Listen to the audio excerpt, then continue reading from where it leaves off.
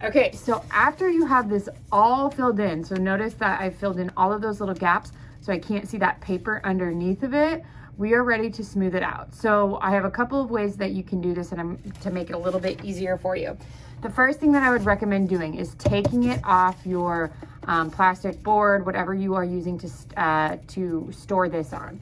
So carefully take this off, um, but keep the piece of paper on it, okay? For just right now.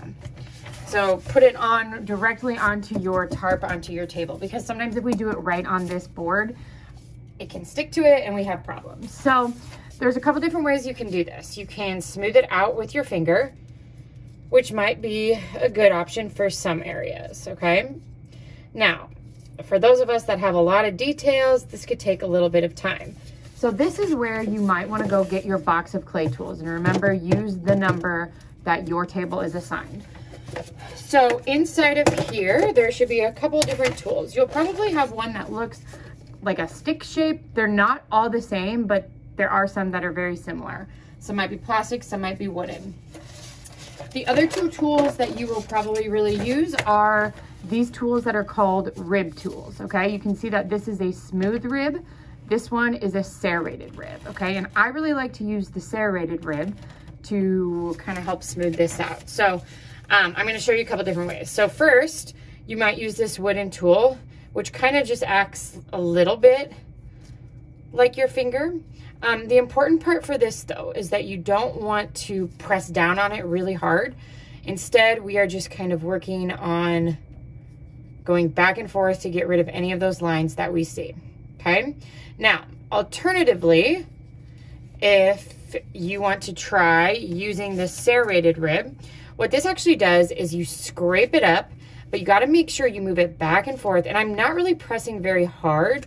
I'm just kind of lightly scratching the surface. So go back and forth. And then you might actually take this smooth side or the smooth one and kind of start to smooth it out a little bit, okay? Now, mine is really uneven, so I'm gonna have to use kind of a combination of all of these tools and my finger, okay? So just experiment with it. I'm gonna speed it up and then show you the next part.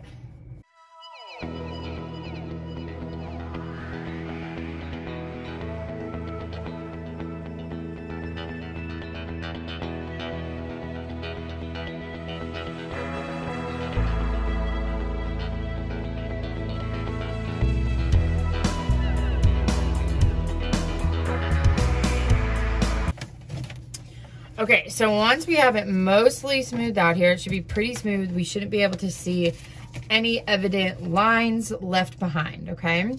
So what you're gonna do then is now you can carefully flip it over and peel that paper off, okay? So it's best to kind of just kind of go like this.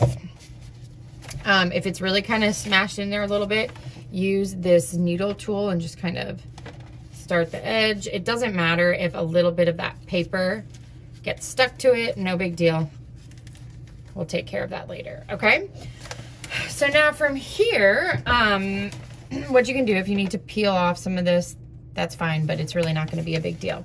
So then our last step that we're gonna do here is if there's anything you need to smooth out or you want to go in and um, smooth. You can do that with any of these tools. But what I would recommend doing is cleaning up the edge here. This needle tool works really, really well if you kind of need to trim anything down, if something doesn't look quite even enough. Just kind of go around and take care of any of those little crumbs, okay? So then after you do that, you will want to come, and another option too is if you'll have to get this sponge wet, but you can lightly go around the edges and smooth out that with the sponge. The sponge is really dry right now, but um, that's probably something that I will do with mine.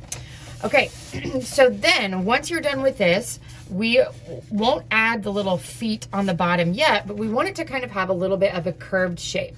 So you can come get a small little plastic or styrofoam plate like this.